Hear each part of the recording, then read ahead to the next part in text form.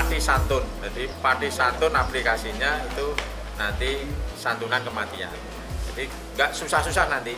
Jadi kita sederhanakan, kita mudahkan agar bantuan ini bisa segera diambil oleh ahli waris. Karena tujuan kita akan membantu kepada keluarga yang meninggal. Jadi kalau misalnya kita tahun lalu agak sulit, kita evaluasi yang ini rekening kan rekeningnya nanti kan cukup keluarga itu juga bisa. Kalau dulu kan rekeningnya kan harus ahli waris.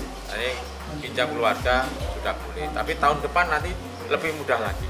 Kita buatkan sistem yang lebih mudah agar eh, apa itu manakala perangkat tidak respon nah, itu ahli waris langsung bisa dengan sistem itu sudah bisa anu, connect.